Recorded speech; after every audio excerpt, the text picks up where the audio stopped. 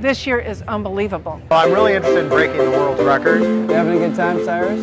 I make these garden stakes. There's a really cool, like, giant metal bug that was for sale. I think it's all around pretty, pretty good. It's just a nice variety. It's really hard to choose. It's pretty exciting to see the number of people who come down. I think it brings the community together. That's why I like uh, coming out here and doing this one. When I look at it, I either want to buy it or have it hanging on my wall or use it somewhere. It inspires me.